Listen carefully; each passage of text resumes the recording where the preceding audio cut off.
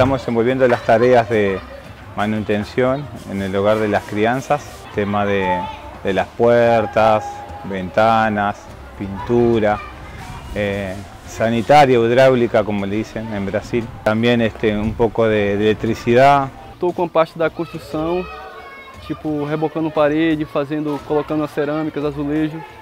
Mas tem os outros irmãos que estão na pintura, outros fazendo uns, alguns brinquedos para as crianças, balanço. Criando um ambiente saudável de harmonia externa, isso também se reflete na harmonia interna.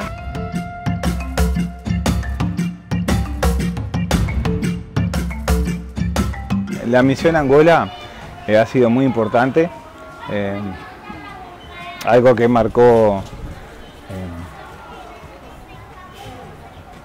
fuerte, ¿no?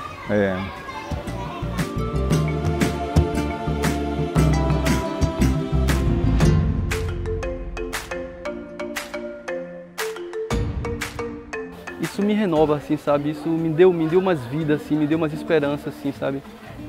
De estar num lugar como a África, assim, aqui na Angola, aqui, e estar podendo servir.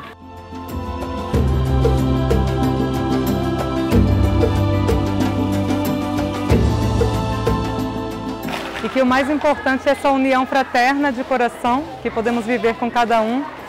E como que através de cada sorriso, cada olhar, a gente aprende sobre o amor, o respeito e a dignidade humana.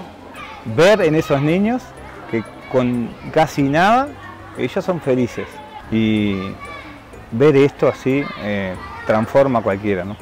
Você consegue ver essa vontade de viver, de ir para frente, independente de obstáculo, independente de qualquer coisa, sabe? De qualquer dificuldade.